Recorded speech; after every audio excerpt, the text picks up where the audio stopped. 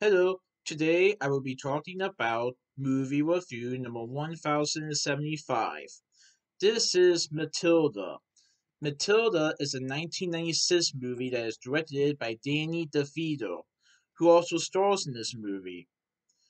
Interesting that Danny DeVito happens to be a director on several films, including Matilda.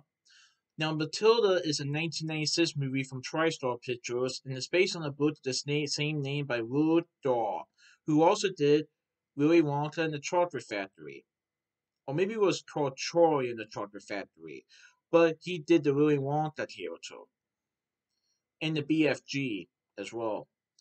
So I saw this movie on August 4th, 2024 at CMX Liberty Luxury 15 in Cinebistro in Liberty Township, Ohio.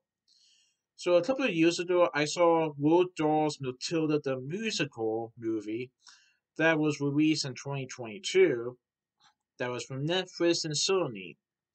That was a new adaptation of the Matilda book, but it turned into a musical. This movie is the original Matilda movie that isn't a musical, but is based on the book.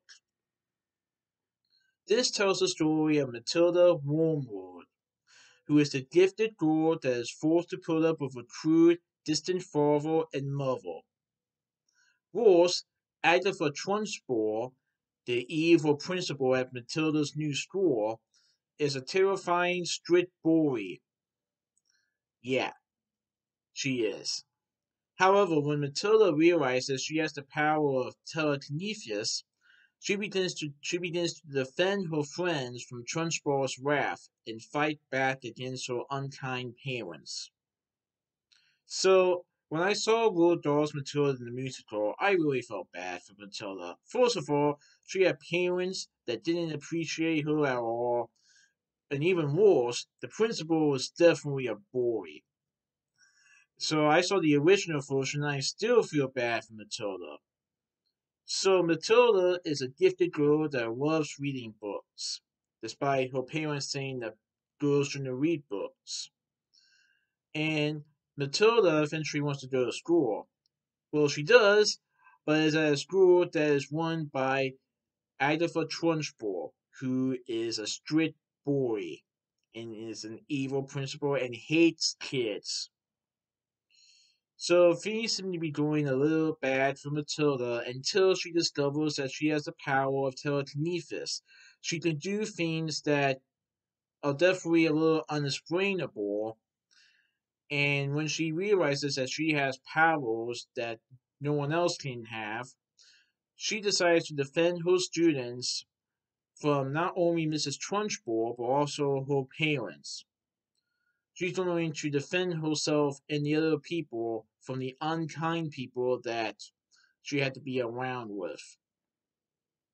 Oh, I thought it was a pretty good movie. So Mara Wilson plays Matilda Wormwood in the movie. Interesting that Mara Wilson is in it, as I believe, as I believe that Mara Wilson was also in Thomas and the Magic Railroad. Pam Ferris is Agatha Trunchbull in the movie. She is the principal of Crunchem Hall School.